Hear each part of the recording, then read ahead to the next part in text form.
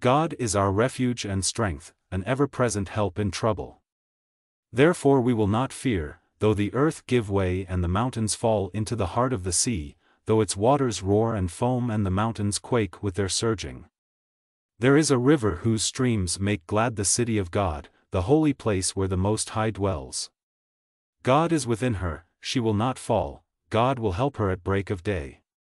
Nations are in uproar, kingdoms fall, he lifts his voice, the earth melts.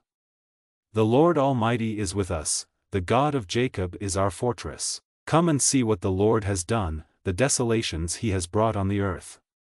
He makes wars cease to the ends of the earth. He breaks the bow and shatters the spear, he burns the shields with fire. He says, Be still, and know that I am God, I will be exalted among the nations, I will be exalted in the earth. The Lord Almighty is with us, the God of Jacob is our fortress.